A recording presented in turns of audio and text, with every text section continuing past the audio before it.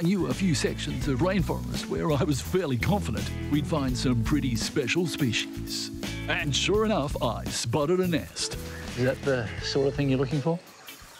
Oh, it's a crested kingfisher. Wow. Do you think there might be chicks in there? Well, there's one way to find out.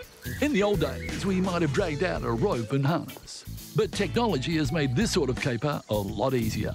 With Andy's computer hooked up to my drone, the perfect close-up was just a push of the button away. Okay, let's get airborne. Operating a drone calls for a fair bit of skill, especially when flying through thick jungle canopy. But thanks to my piloting prowess, I soon had a clear view of that precious nest. Just gotta cruise on in for a close-up.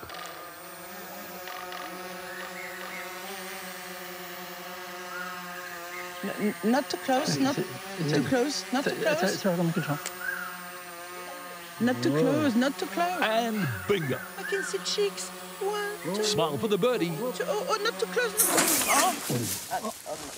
Not too close. Trick there. It was a good feeling knowing my efforts would be advancing important research into this rare endangered species. Strange find, Yeah. Bird's, bird's gone, I think. Uh, but uh, she's fine. Couple of blood marks there. All Aussie adventures. Pack me swag, let's go. All Aussie adventures.